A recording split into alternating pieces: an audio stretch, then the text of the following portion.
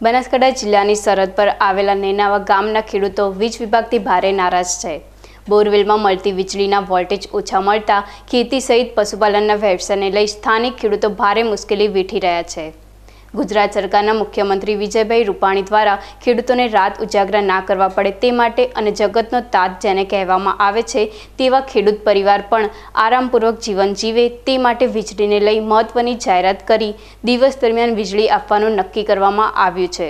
ગુજરાત સરકાર દ્વારા પણ ગુજરાતનો ખેડૂત ખુશ છે, સરકારની કામગીરીથી રાજી છે તેવી જાહેરાત લોકો સમક્ષ મૂકવામાં આવી રહી છે.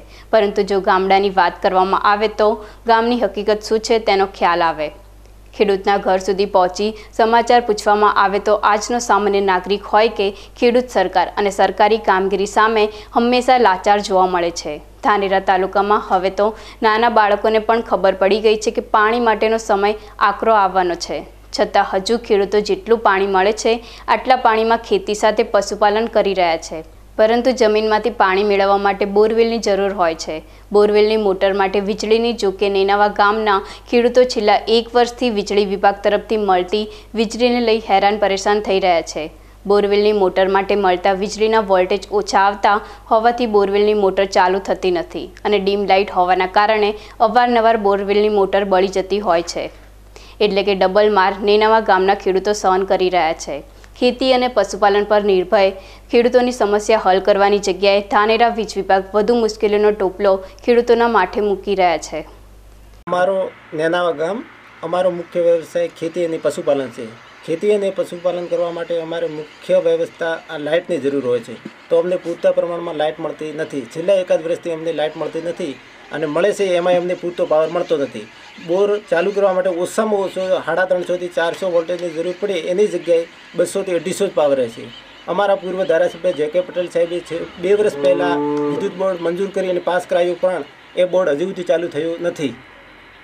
કેટલો પાવરની જરૂર પડે બોર ઉપર? ઓછામાં ઓછો સાડા ત્રણસોથી ચારસો પાવરની જરૂર પડે. એની જગ્યાએ બસોથી અઢીસો પાવર જ મળે. એટલે શું થાય પછી આ ઓછો પાવર ઓછો પાવર મળે એના કારણે અમારી મોટરો ખરાબ થાય. એક મોટર પાછળ ઓછામાં ઓછો પંદરથી વીસ હજાર ખર્ચો થાય. આખા ગામમાં આવી સમસ્યા? આખા ગામમાં આવી સમસ્યા. છેલ્લા બેથી બે વર્ષથી. ગુજરાત રાજ્યના ખેડૂત માટે સરકાર અનેક પ્રયાસ કરે છે. વીજળી, પાણી સહિત પાકના ભાવ સારા મળે તેને લઈ અનેક યોજના અમલી બનાવી છે. પરંતુ ખેડૂતો આરામપૂર્વક રહે તે વાતમાં સરકારી તંત્ર રાજી નથી. નેનાવા ગામમાં પણ વીજળીની સમસ્યા ઉપસ્થિત થાય તે માટે અગાઉથી નેનાવા ગામને સરકારે છાસઠ કેવી સબસ્ટેશન બનાવવાની મંજૂરી આપી હતી. અને નેનાવા ગામમાં છાસઠ કેવી સબસ્ટેશન બની પણ ગયું છે. પરંતુ હજુ પણ સબસ્ટેશનના ઉદ્ઘાટનની રાહ જોવાઈ રહી છે. સબસ્ટેશનને મળતી લાઇનનું કામ હજુ અઘરું છે. સૌ કોઈ સત્વરે નેનાવા ગામના ખેડૂતોને વીજળીને લગતી સમસ્યા દૂર નહીં કરાય તો પશુપાલન તેમજ ખેતીને ભારે નુકસાન થાય તેમ છે. અમારું નેનાવા રાજસ્થાનની સરહદે આવેલું છેલ્લું ગામ છે. અહીં લાઇટ માટેની તકલીફ ખૂબ જ છે. ખેડૂતોને સમયસર લાઇટ મળતી નથી.